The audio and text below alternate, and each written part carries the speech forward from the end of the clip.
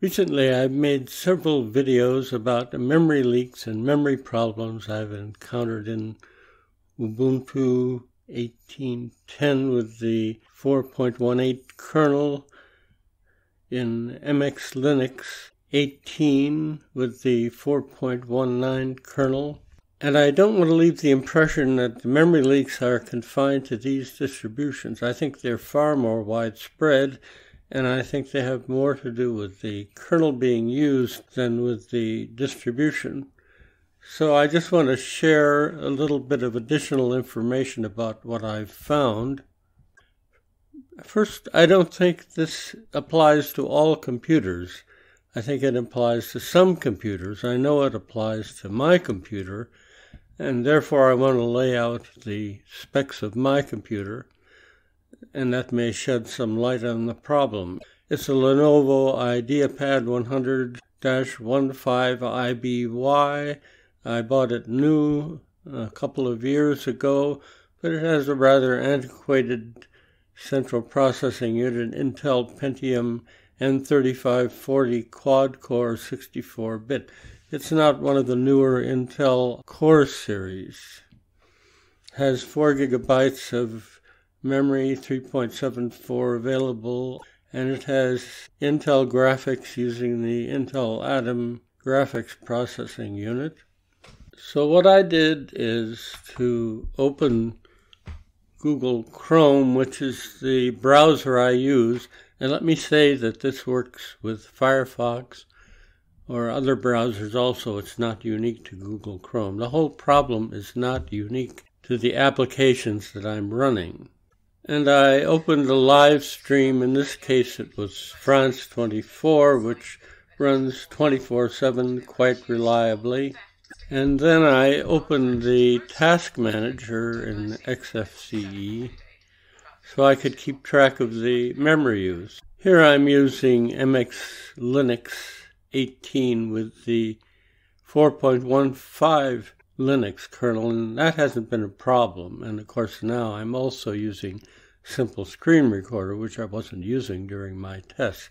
My tests ran six to seven hours, and running Simple Screen Recorder for that long would build up a huge file. I didn't want to do that. I just took screenshots of the task manager at various times. As you can see here with the kernel 4.15, even with Simple Screen Recorder running, uh, the memory use is only 26%, and that's fairly consistent. But I'm going to stop this and go to my actual results.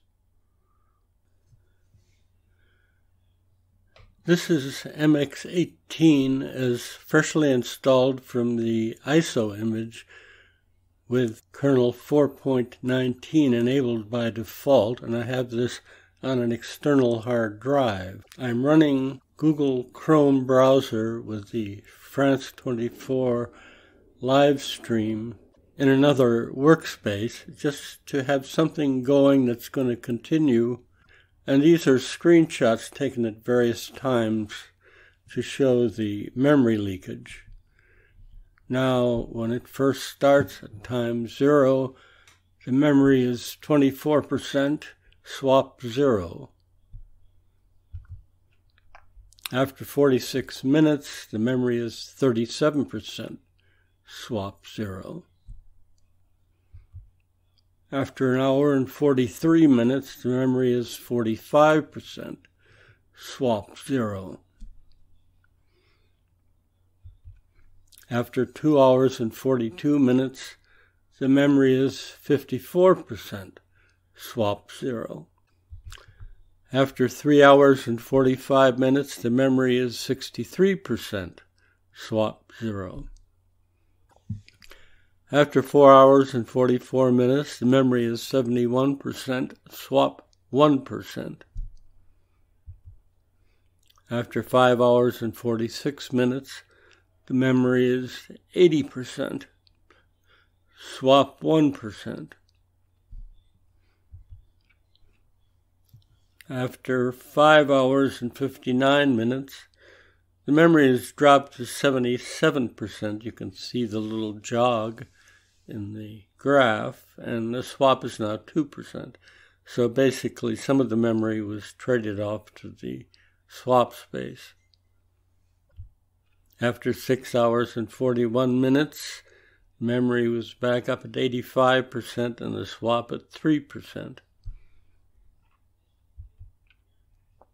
After 7 hours and 1 minute, the memory was 88%, swap 3%. After 7 hours and 26 minutes, the memory was 91%, swap 5%. Now, at this point, the live stream was still playing all right on Google Chrome. I wasn't really using enough swap space to slow things down very much. Screenshot was a bit sluggish. Now here I've turned off Google Chrome and with it the live stream and the memory has dropped down to 78%, and the swap is at 4%. Now, what you see here really represents that Google Chrome released the memory it was using. It wasn't using a very high percentage of the total memory shown. Most of this was being leaked to points unknown. If you added up the memory used by all of the open applications, it wouldn't equal that number. So basically, what the residual memory is, is leaked memory that wasn't really being used by the application being run.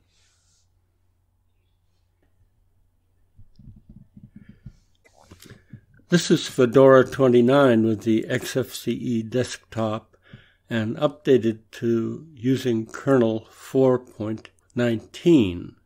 The beginning profile is a little different than with MX Linux.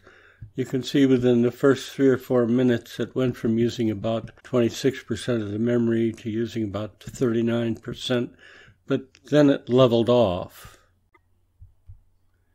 Now, after the first 21 minutes, it was using 44% of the memory, zero swap. After two hours and four minutes, it was using 62% of the memory, zero swap. After three hours and four minutes, it was using 70% of the memory, zero swap. After three hours and 24 minutes, it was using 73% of the memory, zero swap.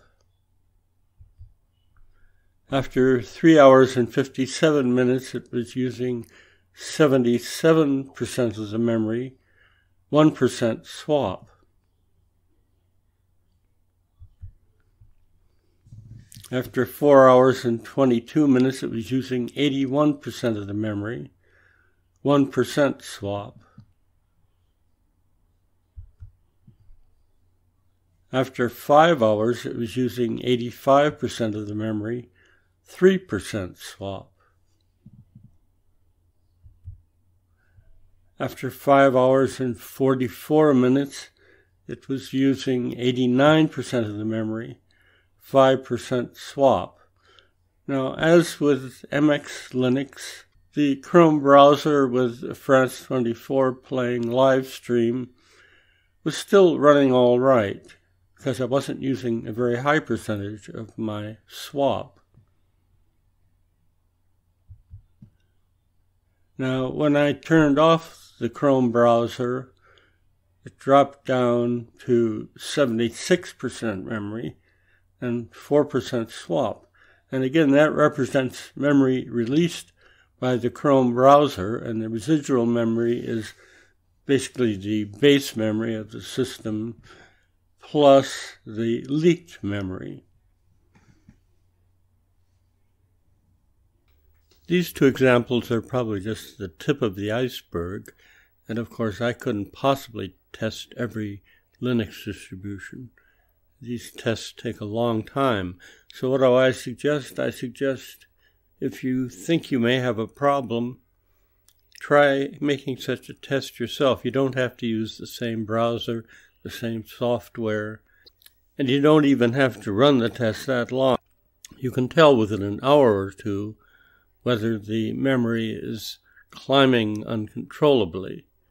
If all else fails, I would avoid using Linux kernels 4.18 and 4.19 until they resolve this question. This is XRAM Tech. Thanks for watching.